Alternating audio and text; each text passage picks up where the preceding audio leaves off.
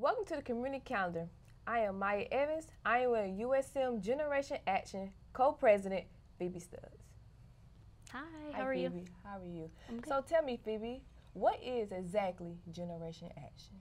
So, Generation Action is a student organization and an affiliate of Planned Parenthood. So, we mostly desire to mobilize advocacy among students and younger generations, hence the name. Um, and we also want to educate people on reproductive rights and freedoms and educate people on sexual health and local and state and nationwide resources. So, we pretty much do a little bit of everything that Planned Parenthood does. What kind of events does your organization do? I always like to say that we do a little bit of everything. Um, we do anything from tablings weekly to uh, crowd canvassings to hosting sex ed seminars where we have leaders or um, public figures come in and talk about certain topics. We really like to keep it switched up and um, keep things exciting and new because we're always trying to uh, foster new membership. So that's really important to us. Do you think your organization fosters student involvement? Oh, for sure. I, I think that this organization encourages students who um, would maybe not necessarily speak out and use their voice. I feel that this organization creates a safe space for queer students, people of color, people of different sexual orientations and origins. Um, I think that that really, really encourages involvement among students because they feel like they have a place to do so and they have a community of people that they can relate to and connect with. And we also always, always encourage people to come and help us at events, um, even if they're just active members. We do have a board of officers, but we love to have members come out and show their faces too. So, as an organization, you all gather a plan to write a letter to Joe Paul. Can you tell us more about that? So I'm sure that everyone is aware of the group of protesters that come on campus. They come on every Tuesday or Thursday. They like to switch it up, um, but they they really spew a lot of homophobic, transphobic, racist, Islamophobic propaganda, um, and that's something that we feel like really goes beyond what their First Amendment rights allow them as a group that comes on campus to publicly protest. Uh, we feel that their First Amendment rights become questionable when students feel threatened and unsafe on campus. And, you know, this is the place where students are, are at every single day. They have to walk by these people and hear the things that they're saying.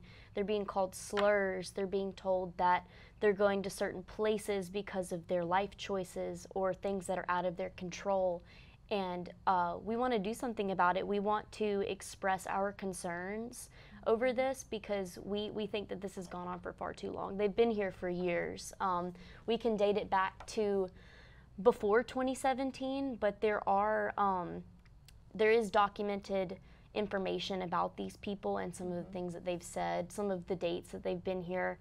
Um, so we are organizing a letter writing campaign to Joe Paul, uh, who's the USM president he's an interim president, so we feel that um, our efforts would be especially monumental because he's kind of a transitional figure for us. He's not going to be here um, for a whole, like for a long time. So we think that this would be especially um, influential. So we want to write these letters to him and just express our concerns, our personal experiences, let students talk about how this has affected them and we want to raise up the people who um, are from minority groups and stuff on campus who don't feel like they can talk about these things, who feel like they just have to shut their mouth and go along with it and just let it happen. But we want to keep it from happening. So. So what made you guys started this movement? Um, again, we we think that these people create a threatening and unsafe environment for students. We think that. Um, we think that that's wrong. We think that these people shouldn't be allowed to um, spew this rhetoric mm-hmm. that, that has no evidence behind it, that has um, no direction really. It's, it's just kind of ridiculous stuff. and um, we, we feel like we have the right to say something about it. And we, because we are an organization and because we are gaining membership and um, and cite across social media and other mediums, we we think that we have the power to make a change. So. So I also read about you guys gonna start an alert system mm-hmm. when the protesters come. Can you explain more about that? Yeah, of course. Um, we don't have any specific plans in stone yet, but um, we do plan to at least send those email alerts out to active members of Gen Action, but we want to expand that beyond just our our membership. We want all students on campus to be alerted whenever these people are on campus because there's people that don't even know about Generation Action. Like there, there's always going to be people that are unaware. Um, so we want to expand that. We are working on getting in contact with the proper administration to make this happen. But um, every time that they are on campus or every time they have an event scheduled, we want to provide details on where they're going to be located, how long that they're going to be there approximately, and any guidelines we have for um, diverting attention from them, from diffusing conflict between them and the protesters, because there is a lot of that. There's a lot of aggression towards students. And of course, students will um, reciprocate that because they feel threatened by these people. And that's understandable, in my opinion. Um, so yeah, we we're, we're working on it right now, and we hope to do this uh, for many semesters to come. We hope for this to be something that's set in stone that that we have control over, mm-hmm. um, and we want to keep people in the loop. So that's good. Yeah, that's really good. So why do you want to create it as much? You explained it, but I just want to know like the alerts and just to get them like just let people know what to avoid them or just to let them know they're on campus? Um, we do we do basically just want to let people know that they're on campus. On campus, okay. Um, because I, I can't tell you how many people I've talked to who have skipped class and stayed home wow. or stayed in their dorm because these people are here wow. because they've been like specifically targeted and and like verbally attacked by these people.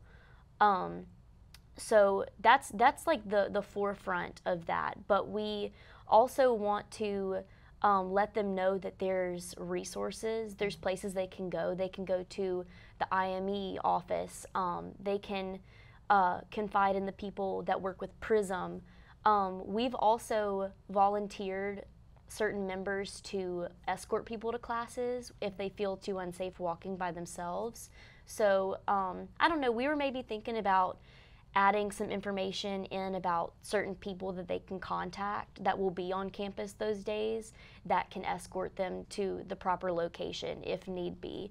So that's another important detail that we want to emphasize with this. Um, but yeah, mostly to just let people know because again, so many people like do their best to avoid them. So we want to make that a little bit easier.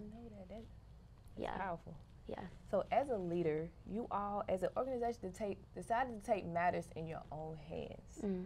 What encouraged you all to bring student activism on campus? I think that a student organization, especially one that is kind of small, like we still are, again, we're still growing. Um, but I think organizations like that can act as a catalyst for students. And um, really encourage people. I know I've said this a couple times already, but really encourage people to use their voice when they don't feel like they have the place to do so. Um, and we have the resources. We have we have people that we can connect with and get people connected to outside of campus. Um, and again, we're an affiliate of Planned Parenthood, so we are legally protected to a certain degree. Um, so that's also encouraged us to take action as well um, because we do have the means to do so. So, with those legal protections in mind and with the resources that we have in this area, and especially because we have a Planned Parenthood clinic in Hattiesburg, um, which a lot of people are not even aware of. So many people are so shocked by that. Y'all hear that? Um, yeah. Y'all hear that? yeah, take note. Um, but yeah, I, I think that we can act as a catalyst for that. I think that's a good word to describe it um, because I think we can really set people in action. All right. I think that that's good enough information right there, Phoebe. Thank, Thank you. you so much. All right. Thank you all for tuning in on the community calendar. I'm Mya Evans. I'm with Phoebe, Phoebe Stutts. Thank you.